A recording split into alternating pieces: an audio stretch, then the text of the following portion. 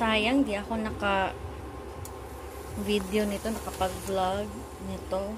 Pero, nakalimutan ko kasi yun. Ang ginawa ko dito, explain ko na lang kung paano ko ginawa.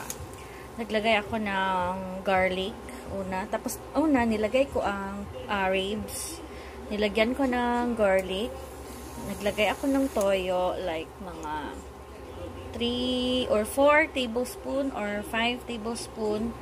Tapos, naglagay ako ng um, 2 cups ng water.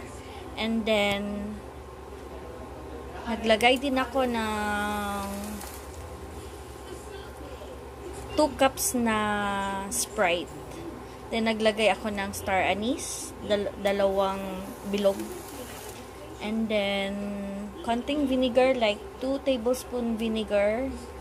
And then, naglag uh, pinaka last part na nilagay ko is ang uh, itong banana blossoms. Dapat sa last part mo na ito ilagay kasi maano siya mal malalata lalata siya wag, wag ka na maglagay ng sugar dito kasi yung Sprite niya ang nakapag uh, matamis na yung Sprite kasi. Masarap na siya. Next time gagawa ako ng step by step na video nito. Mga ang cooking time ko nito yung pinalambot ko muna yung ribs. Mga I think mga 15 minutes pinalambot ko or mga 20 then yun naglagay na ako ng mga pampalasa. Sayang.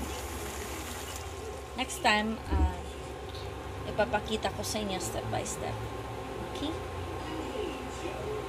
Masarap siya tinikman ko na. And I forgot na i-video para sa inyo. Sobrang sarap niya. Tinikman ko. Okay.